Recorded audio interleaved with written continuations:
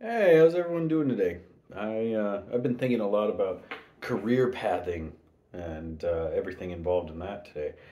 Uh, I've had jobs that are basically stack the block jobs, you know, button pushers essentially. If you read uh, David Graeber's BS jobs, and those are annoying to be a part of. At the time that I was there, it was um, very emotionally detrimental, mentally taxing because you're just doing something menial all day long. It's annoying, right? And later in my career, having jobs along those lines was uh, less of a mental drain and more of just uh, I'm doing what I got to do to get by. Uh, it was totally fine. And then I've had other jobs that were incredibly mentally taxing, uh, very, very challenging. You know, whether you think my IQ is 75 or 4,000, it was challenging. And so I'd go home exhausted, having done no exercise, just trying to think my way through problems. And yeah, I mean, that was a little less mentally taxing uh, as far as the like, what am I doing with my life kind of thoughts. Um, but uh, it was also a big drain on energy, right? So, like, which do you prefer? What do you want from your life? With all the effort you put in to improve yourself, to improve your income, all that jazz. Uh, what kind of job do you want? Do you want something that makes a huge impact? Do you want something that pays a lot? Do you want something that's mentally challenging? Do you want something that's the uh, button pusher job? What I've been thinking about today is how disillusioned I'm becoming with that question. That that question is so linear it's there's only one way to do it. You've got to be employed. You've got to. How do you get a better job? How do you enjoy your job more? How do you learn the new skill to get to the new job? It's so one path, linear. Like I was saying, I'm not quite sure the right word on it, but uh, this year I started making some software that I'm hoping becomes a series of products that I can turn into a business on the side. Great, great, great. And I'm not quite sure what exactly those products will be. I have some idea, and it's in an area where people will definitely be interested. But uh, how do I convert what I'm building into something that people will spend money on? That's a problem for tomorrow. But this whole process of just sitting down and doing something that I'm enjoying, I feel productive doing, and I could see tangible benefits as far as income for my family goes, has changed my view on where are you working? What job do you have? How important is that? I'm no longer thinking of jobs as the main source of income, right? And those of you who have followed over the past few years, you you know I've branched out into different entrepreneurial paths, whether it was through tutoring or trying to put out different advertising, starting XYZ website. Sure, sure, sure. But this feels different. This feels more more organized, more uh, consolidated given that experience in the past, given working a handful of corporate gigs where you you dive in and you get to see stuff all the way from the state level all uh, to the private sector startup area. You know, working for a startup is very fast paced, and you see all how the pieces move together and um, it's very different from a big company. Working for a big company, you just feel like a, a little cog in the machine. You don't really see how it all works.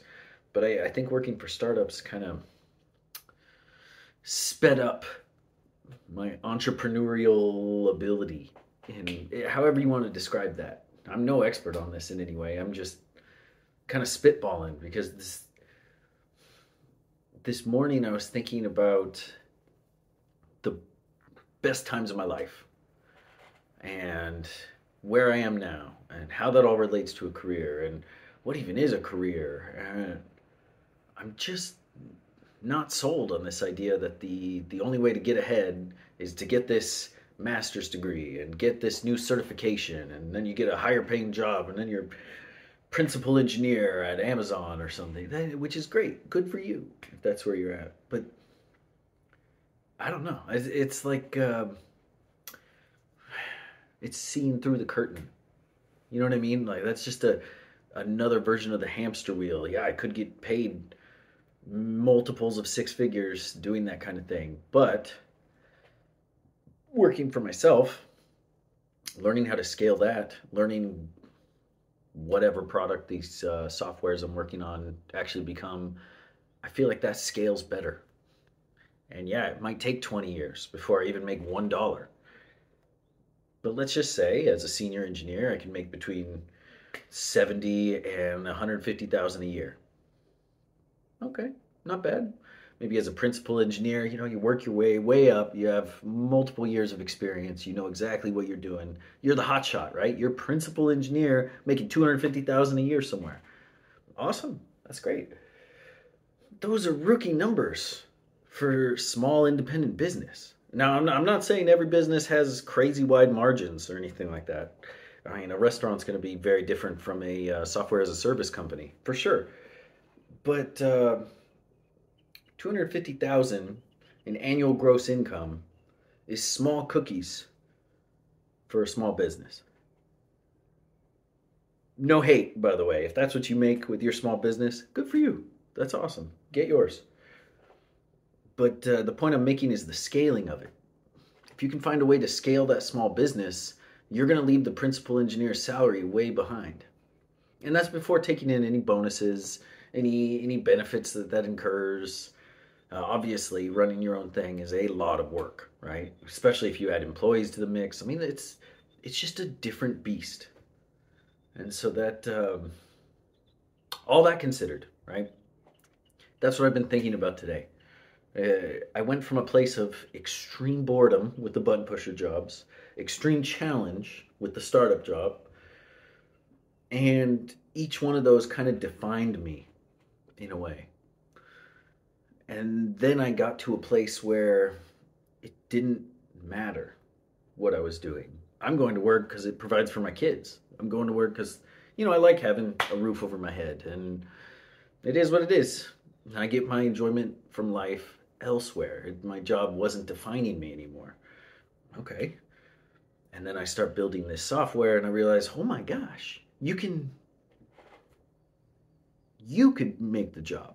you could be the boss. You could scale this way higher than the million percent effort you're putting in to just be lead engineer, you know, for someone else. So that's what I've been thinking about a lot today. And um, yeah, I'm a, I'm a little confused about the next few steps to take. There's a lot of uncertainty surrounding it. Uh, so what if you've got a database full of data and you're going to run some analyses on that and figure out how to put that data into something tangible that's useful to others that will service others and they'll trade you money for that service. That's great. Sure, that's one thing. Uh, the uncertainty comes in because it could be a complete wash. it could be an absolute failure. And then there's a little glimmer of hope that comes into my mind as well of like, so what? so what if it's an absolute failure? Uh, you'll learn from that too, and it'll compound, and you'll move on to the next thing. The the learning, the experience will compound, and you'll understand things better and know a, a better direction to move in. And that's um, that's so much more comforting so much more inspiring than the idea of I'm going to get my level three cert so that I can apply to the uh, big corporation and get taken care of there. I'd much rather do it on the uh, on my own elbow grease, on the strength of my own back, till my fields. Uh, but yeah, I'm I'm trying to figure out if I'm inspired by this and gonna give it my all and like how do you describe that? Like if i'm wasting my time because that principal engineering position will you will get there eventually. And the entrepreneurial side of things like i've described you'll get there eventually. But i don't have a lot of of uh, inspiration in my life for how that could work out and so it's um, it's kind of like a journey of faith in a way. Uh, you know what? I'm just going to do this right now, and it's all going to work. We're going to get there. And honestly, that that hope for a better future based on my own efforts is way more inspiring than becoming principal engineer for a big company. Uh, that mind sh- that mindset shift that I was talking about earlier, where you're not defining yourself by your job, that that applies to this as well, because so much of my fulfillment comes from my family. It comes from my involvement with my community. Um, what I'm doing to create money in my life is such a small part of it. And I I really hope I can develop that a little bit more. You know, it's just a small part of my life rather than this focus of like, oh god, I gotta scramble and pay off the student loans and make the next paycheck next month. Like, I want to lower that almost to zero because it's just a distraction from the wonderful things in life. Oh, I was going to show you a picture of my kid, but we don't put our kids on the internet. We'll talk about that later. All right. Talk to you soon. Thank you very much for listening to this ramble. What are you dealing with right now, career wise? Um, are you bored with your work? Are you looking to upgrade? Are you thinking of doing the same thing, like making your own own business somehow? Whatever that is, from restaurant to SaaS company. Let me know. I'm really curious about other people's journey on this. Uh, any any emotional feedback that you're feeling with yourself, any doubts, any struggles you've overcome. Um, maybe you're like me and you have no idea what you were going to do, but you just know you have to do it. And I'm really curious to hear your story. So talk to me soon. I'm getting this video production thing down, okay? I'm going to be putting out some more videos soon. We've got the office set up, and I am terrible at scheduling this because it's like one thing to another. But um, thank you for watching. Have a great day, and good luck.